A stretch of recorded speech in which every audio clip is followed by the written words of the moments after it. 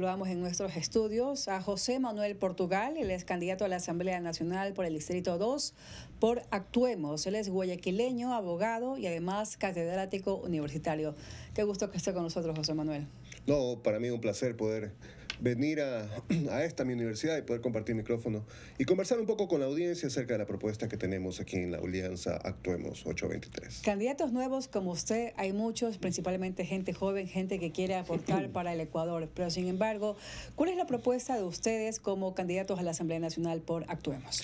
Precisamente una de las cuestiones en las cuales vamos a trabajar de lleno es en cumplir nuestra palabra, nuestro compromiso, porque una de las falencias que tuvi tuvieron los asambleístas anteriores, aquellos que lastimosamente pues traicionaron la confianza popular y, y, hacen que hoy en día la asamblea no sea bien vista por la comunidad, era precisamente anteponer sus intereses personales, sus intereses particulares, en desmedro de los intereses generales del pueblo.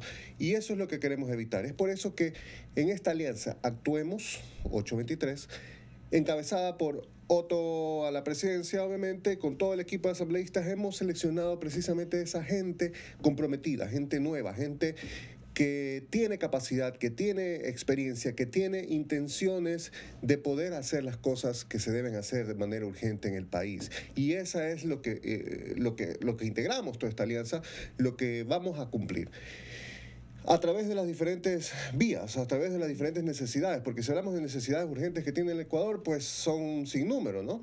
Pero sin embargo, nuestra propuesta se resume fundamentalmente en paz, plata y progreso. Paz en las calles, plata en los hogares de, los, de la ciudadanía ecuatoriana y progreso para el Ecuador como tal.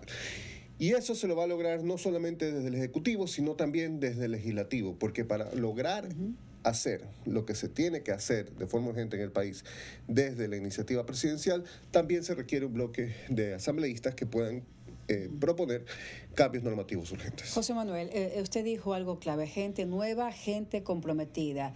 Y como le decía, hay mucha gente joven que está pues eh, dándose a conocer principalmente su propuesta de campaña a través de los medios de comunicación, pero les va a ser muy difícil porque la ciudadanía ya le perdió la confianza a la Asamblea Nacional. Usted es abogado, usted conoce perfectamente leyes.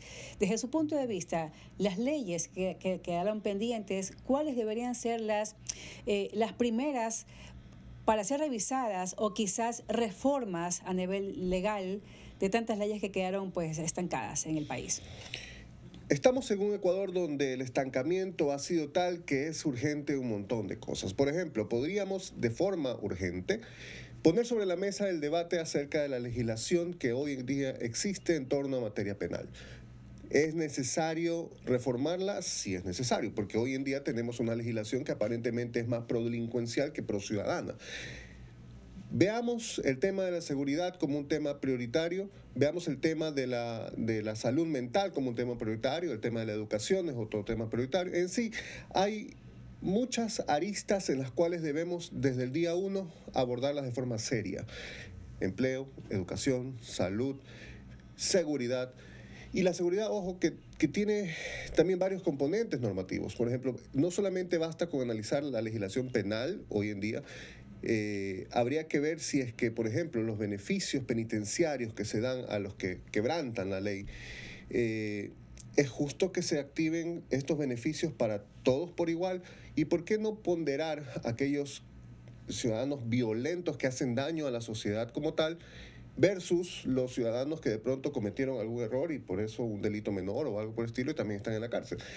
Hoy en día están todos mezclados y tratados en un, en, en un, mismo paquete, lo cual es negativo propiamente. Analicemos cómo funciona nuestro sistema judicial. Nuestro sistema judicial necesita reformas, de seguro que sí.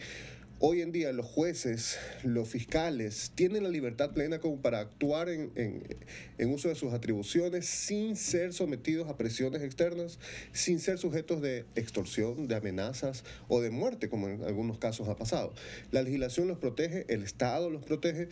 Esos análisis fundamentales, concretos, puntuales, que, obli que, obligan necesariamente a una reforma normativa tienen que ponerse sobre la mesa y tienen que ser parte del debate nacional. A propósito de lo que usted menciona, José Manuel, eh, fíjese de que Eh, llegó la información este fin de semana que se dio a conocer en redes sociales de que el juez de garantías penales, Hermes Jiménez, ordenó este sábado 5 de agosto la liberación del director de la penitenciaría litoral por todo lo que se halló dentro de las oficinas del SNAI. Desde su punto de vista, ¿qué se debiera hacer con esos jueces corruptos?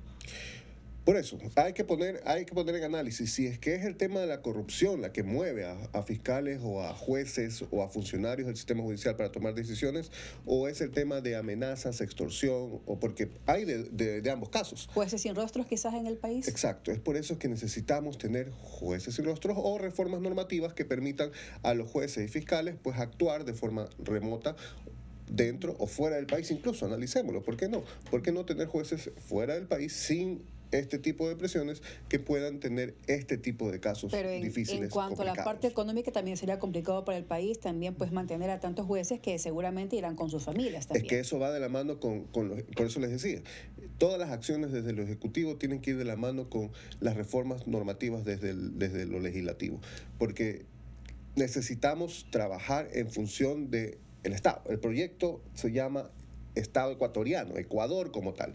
No podemos hacer acciones pensando solamente en intereses personales o intereses partidistas cuando no lo debe haber.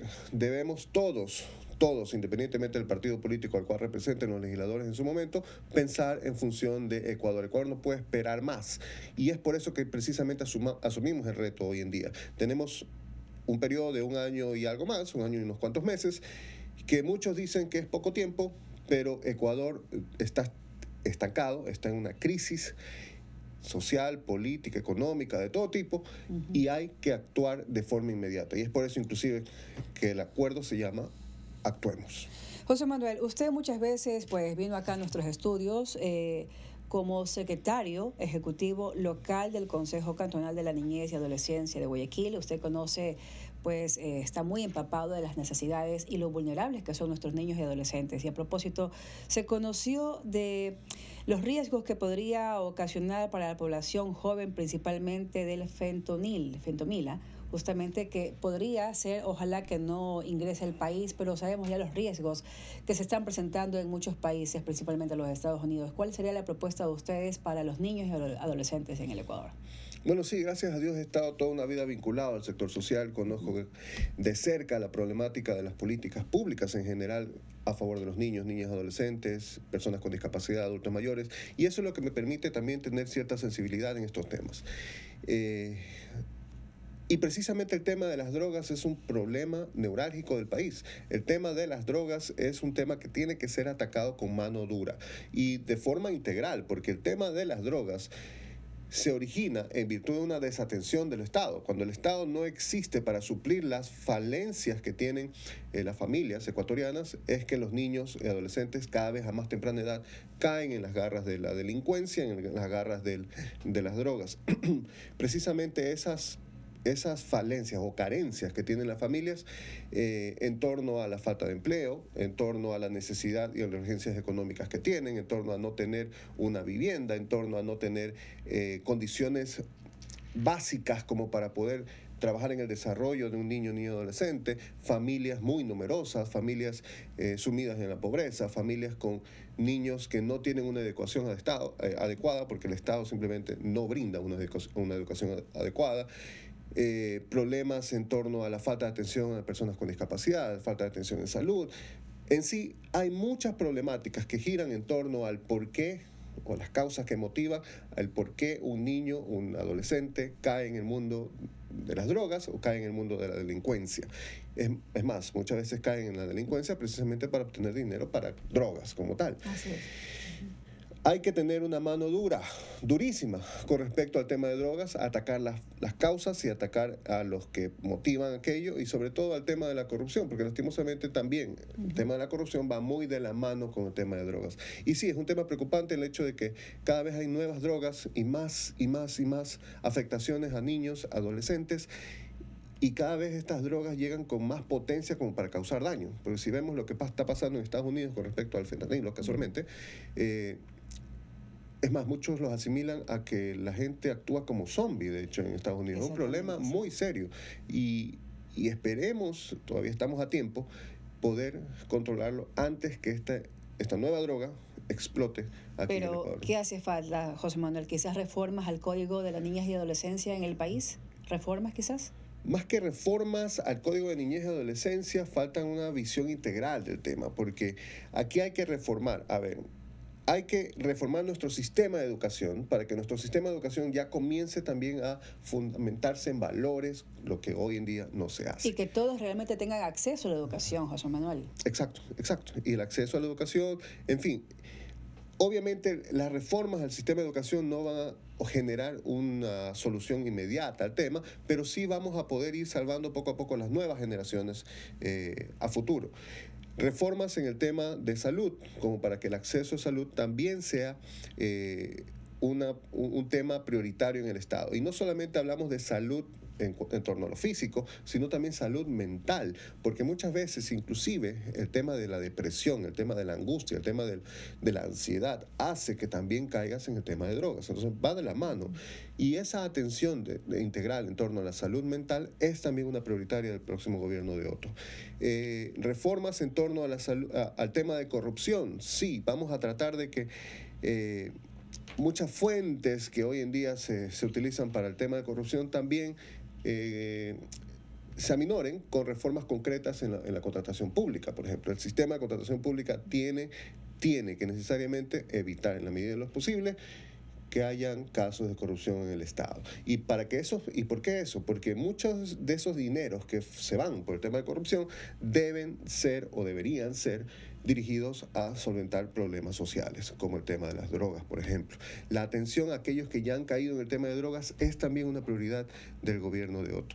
Vamos a tener en cuenta y de forma directa uh -huh. a todos aquellos que ya están en el mundo de las drogas y a través de campañas promocionales, obviamente, vamos a tratar de eh, prevenir para aquellos que no, no, han caído todavía y esperemos no caigan en el tema de drogas. José Manuel, uno de los inconvenientes de esta última asamblea fue la pugna interna de poderes, eh, principalmente dentro de los partidos y movimientos políticos como tal.